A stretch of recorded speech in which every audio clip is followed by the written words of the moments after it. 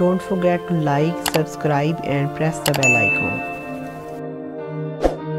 Hello everyone, welcome to our channel Earning and Learning. Today the topic of our video is how to add your own product on Amazon. To add your own product Amazon, you will need to follow these steps. Amazon seller account. Sign up for an Amazon seller account if you have not already. Go to the Amazon Seller Central website and follow the prompts to create an account. Product category selection. Once logged in, choose the appropriate category for your product. Amazon has various categories like electronics, clothing, books. Add a new product. In your Seller Central account, select the option to add a product or create a new product listing. Product information. Provide detailed information about your product including its title, description, images, price, quantity, shipping options and SKU stock keeping units.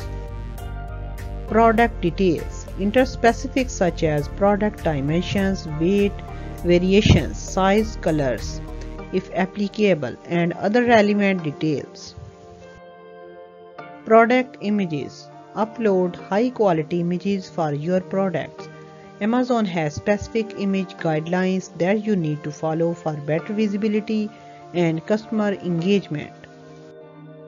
Inventory and pricing. Set up your inventory details and pricing. You can choose fulfillment by Amazon or handle shipping yourself, fulfillment by merchant. Review and publish. Double check all the information you have entered. Once everything looks accurate, submit your product listing.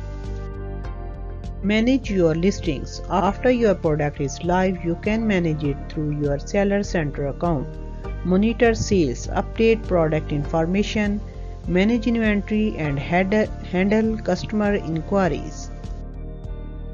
Remember Amazon has certain guidelines and requirements for product listing.